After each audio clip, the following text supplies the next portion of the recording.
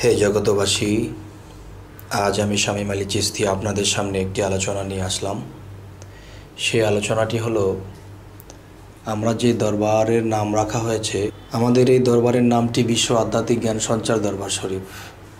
হয়তো কেউ শুনলে এরকম ভাববে বা ভেবেও থাকে যে বিশ্ব আধ্যাত্মিক জ্ঞান সঞ্চার দরবার শরীফ, তার মানে এই বিশ্বের সমস্ত জ্ঞান মনে হয় তারাই নিয়ে গেছে, তারাই মনে হয় বিশ্বের সমস্ত জ্ঞান কামাই করে ফেলেছে। এই জন্য বিশ্ব আধ্যাত্মিক জ্ঞান সঞ্চার নামটি রাখা হয়েছে। আসলে, বাবারে, এই বিষয়টি এভাবে নয়। এভাবে যদি কেউ নেয়, তবে তো তার নিজের কাছেও খারাপ লাগবে কিংবা সে অন্য কাউকেও এরকম বলে থাকবে যে তারা হয়তো নিশ্চয়ই অহংকারী যে বিশ্ব আধ্যাত্মিক জ্ঞান সঞ্চার। এই কথাটি তারা কীভাবে রাখল এই নামটি? হে জগতবাসী আমি এখন যে কথাটি বলব, সে কথাটি হলো যে বিশ্ব আধ্যাত্মিক জ্ঞান সঞ্চার। এই যে সঞ্চার যে শব্দটি, সঞ্চার শব্দটির অর্থ আসে কি? লাভ করা বা সঞ্চয় করা, জমানো, জ্ঞান লাভ করা। আচ্ছা এখন বিশ্বের আনাচে কানাচে বিভিন্ন রাষ্ট্রে যাব, বিভিন্ন জায়গাতে যাব, বা বাংলাদেশে বিভিন্ন অলিয়া উলিয়ার দরবারে যাব, বা জ্ঞানীগুণীর ধারে যাব, বা কোনো জ্ঞানী আমাদের ধারে আসলো বা আমরা কোনো শিশু বাচ্চাও যদি আমাদের কাছে আসে বা কোনো শিশু বাচ্চার কাছেও যদি আমরা যাই, যদি শুনি একজন জ্ঞানী মানুষের মুখে এই কথাটা, যে সে এমন একটা কথা বলছে যে যে কথাটি আমার জানা নেই, তখন সেই কথাটি আমি একজন বাচ্চার কাছে জেনে শুনে আমি তা আমার ব্রেনটে নিলাম, আমার জ্ঞানে নিলাম। দেখা গেছে এমন একটা সাধু পুরুষ বা এমন কিছু জ্ঞানী লোক, আলেম মানুষ, তার সাথে কথা বলেছি, তার কথার থেকে আমি দুটো জ্ঞান লাভ করেছি।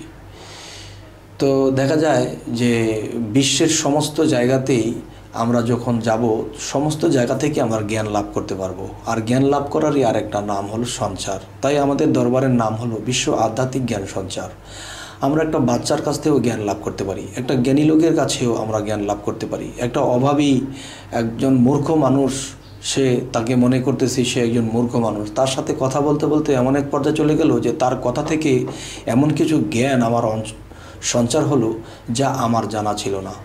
তাই বলতে চাই, এই বিশ্বের সমস্ত প্রকৃতি প্রকৃতি বলতে আকাশ, পাতাল, বাতাস সমস্ত কিছু যা কিছু আছে, সমস্ত প্রকৃতির মধ্যে আল্লাহর জ্ঞান লুকানো আছে। যে আল্লাহ কিন্তু কোরআনে এই কথাটাও বলেছে যে, তোমরা যদি আমাকে জানতে চাও, বুঝতে চাও, আমাকে চিনতে চাও, তাহলে আমার সৃষ্টির দিকে লক্ষ্য করো। তাহলে আল্লাহর সৃষ্টির দিকে লক্ষ্য যদি করি, একটা গাছের দিকে তাকালেও আমরা সেখান থেকে জ্ঞান অর্জন করতে পারি। একটা, আল্লাহর যে কোনো একটা সৃষ্টির দিকে লক্ষ্য করলে আমাদের জ্ঞান অর্জন হয়, জ্ঞান সঞ্চার হয়। তো এই জন্য আমাদের দরবারের নামটি রাখা হয়েছে বিশ্ব আধ্যাত্মিক জ্ঞান সঞ্চার দরবার শরীফ। আচ্ছা আরও একটি কথা আছে যে সৃষ্টি জগৎ আছে যত বা হরফে লুকায়িত।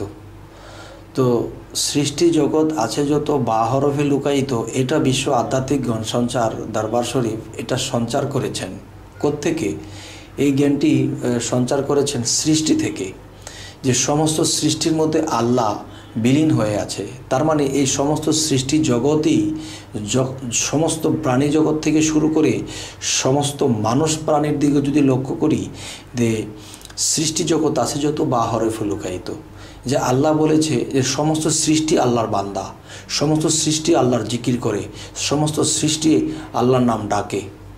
তাহলে বোঝা গেল কি? যে সমস্ত সৃষ্টি জগৎ, সমস্ত তরুলতাও আল্লাহর জিকির করে, মোহাম্মদ নামে দুরুদ পাঠ করে। তাহলে এটা যদি আমরা বুঝি, তাহলে দেখা যায় যে সৃষ্টির মধ্যে আমরা সেই বিশ্বের সমস্ত জ্ঞান খুঁজি এবং এখানেই লুকিয়ে আছে। তো আমরা এই পৃথিবীতে কোনো মানুষ, কেউ কোনো দিন কাউকে অবহেলা করব না। যাকে অবহেলা করব, তার মধ্যে এমন কিছু গুণ আল্লাহ লুকিয়ে রেখেছে, যেই গুণগুলো আমার মধ্যে বা আপনার মধ্যে নেই।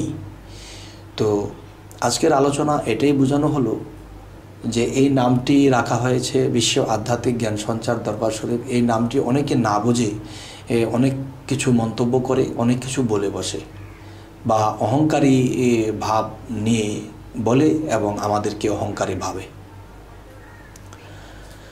হে জগতবাসী আপনাদের সামনে আজকে এই কথাগুলো বলার উদ্দেশ্যই যে অনেকেই এরকম ভাবনা চিন্তা করে আমাদেরকে এমন কথা বলে ফেলেছে আমাদের দরবারের বিষয়। তাই আজ আপনাদেরকে এই কথাগুলো ভেঙে বলা হলো। তো সকলে ভালো থাকবেন। আজ এই পর্যন্তই। আল্লাহ হাফিজ।